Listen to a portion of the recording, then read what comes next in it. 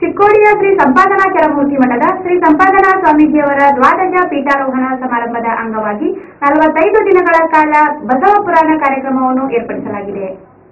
ಚಿಕ್ಕೋಡಿಯ ಶ್ರೀ ಸಂಪಾದನಾ ಚರಮೂರ್ತಿ ಮಠದ ಶ್ರೀ ಸಂಪಾದನಾ ಸ್ವಾಮೀಜಿಯವರ ದ್ವಾದಶ ಪೀಠಾರೋಹಣ ಸಮಾರಂಭದ ಅಂಗವಾಗಿ ನಲವತ್ತೈದು ದಿನಗಳ ಕಾಲ ಬಸವ ಪುರಾಣ ಪ್ರವಚನ ಸಮಾರಂಭ ಏರ್ಪಡಿಸಲಾಗಿದೆ ಎಂದು ದ್ವಾದಶ ಪೀಠಾರೋಹಣ ಸ್ವಾಗತ ಸಮಿತಿ ಸದಸ್ಯ ಜಗದೀಶ್ ಕೌಟ್ಗಿಮಠ್ ತಿಳಿಸಿದರು.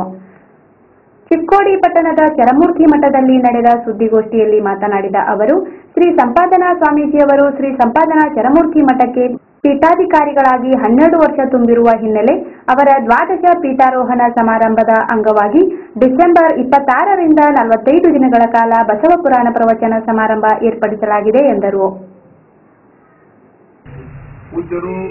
ನಗರಕ್ಕೆ ಆಗಮಿಸಿ ಈ ಒಂದು ಪೀಠಾಧ್ಯಕ್ಷರಾಗಿ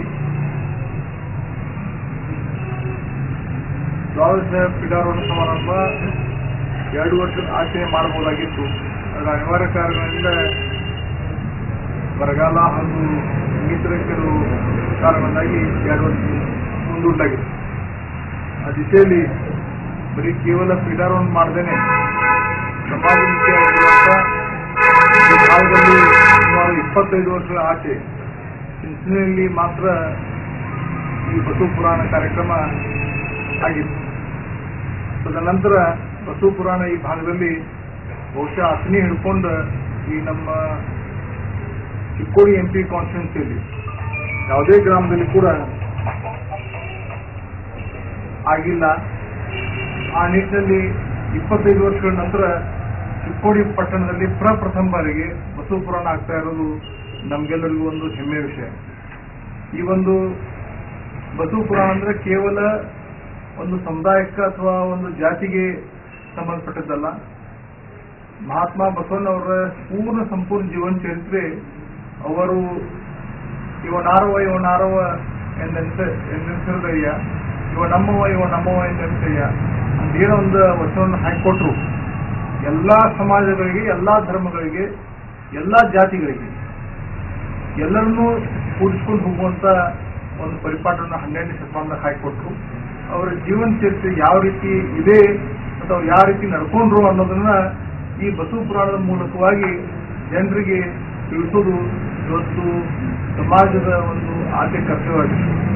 ಆ ಕಾರಣ ಆ ನಿಟ್ಟಿನಲ್ಲಿ ನಾವು ಸುಮಾರು ಹನ್ನೆರಡನೇ ತಾರೀಕಿನಿಂದ ನವೆಂಬರ್ ಹನ್ನೆರಡರಿಂದ ಡಿಸೆಂಬರ್ ಇಪ್ಪತ್ತೆಂಟರವರೆಗೆ ಈ ಒಂದು ಕಾರ್ಯಕ್ರಮ ಹಮ್ಮಿಕೊಂಡಿದ್ದೀವಿ. ದಿನಾಲು ಸರಿಸುಮಾರು ಒಂದು ಮೂರ್ನಾಲ್ಕು ಸಾವಿರ ಜನ ಪ್ರಸಾದಕ್ಕೆ ಬರ್ಬೋದು. ಅವರ ಊಟದ ವ್ಯವಸ್ಥೆ, ಒಂದು ದಿನ ಒಂದು ಸ್ವಾಮೀಜಿಗಳು ಕೂಡ ಬರ್ಬೋದು. ಅವ್ರ ಇರುವ ವ್ಯವಸ್ಥೆ ಈ ರೀತಿ ಹಲವಾರು ಕಾರ್ಯಕ್ರಮ ಹಾಕಿ, ಹಾಕೊಂಡಿದ್ದೀವಿ. ಇದರ ಮಧ್ಯೆ ಸುಮಾರು ಏಳು ಎಂಟು ಕಾಂಡಗಳು ಬರ್ತಾವೆ.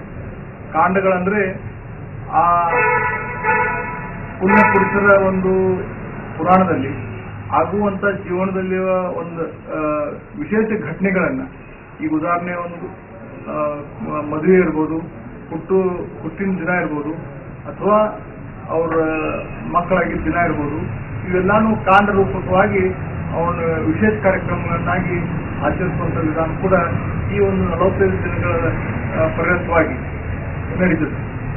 ಆ ಕಾರಣಕ್ಕಾಗಿ ಇದೊಂದು ಚಿಕ್ಕೋಡಿ ನಗರಕ್ಕೆ ಇವತ್ತು ವಿಶೇಷವಾಗಿ ಒಂದು ಹೊಸ ಒಂದು ಕ್ರಾಂತಿಯ ಹೆಜ್ಜೆ ಅಂತೇಳಿ ಪೂಜ್ಯರು ಇವತ್ತು ಇಟ್ಟಿದ್ದಾರೆ.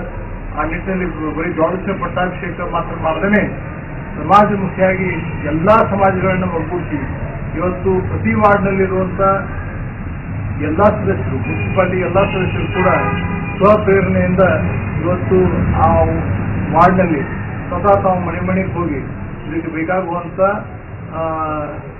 ದುಡ್ಡಿನ ವ್ಯವಸ್ಥೆ ಇರ್ಬೋದು, ಅಥವಾ ಇದಕ್ಕೆ ಬೇಕಾಗಿರುವಂತಹ ದವಸ ಧಾನ್ಯಗಳ ವ್ಯವಸ್ಥೆ ಇರ್ಬೋದು, ಅದನ್ನು ಊರಿನಲ್ಲಿ ಕಲೆಕ್ಷನ್ ಮಾಡ್ತಾ ಇದ್ದಾರೆ.